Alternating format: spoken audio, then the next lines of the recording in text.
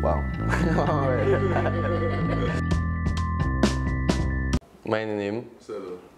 אני יונה, אני מאקוודור, אני בן 25, הגעתי לארץ לפני תשעה חודשים, ועשיתי אולפן לפני tishá que cuando llegué a Israel quería, sabía que, que, que, lo que necesitaba era aprender a leer y escribir, pero entré al Ulpan y encontré un lugar mucho más abierto a conocer gente, conocer lugares diferentes en la ciudad, gente interesante y aprender de la cultura de una manera mucho más llena que solo a través de, del, del hebreo.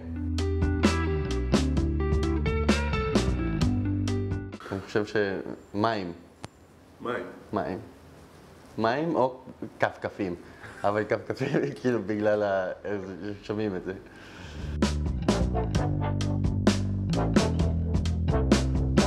אני הייתי ממליץ ממש, ואני ממליץ. אני חושב שזה יותר מיוחד בקטע של איך לומדים.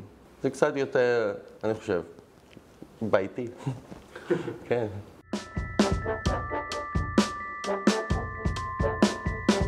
הכי אהבתי פה, זה היה ללמוד עם, עם קבוצה ש...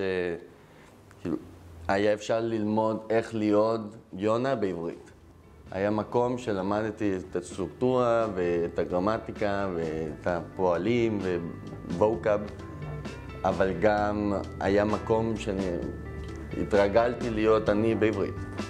זה פרייסלס.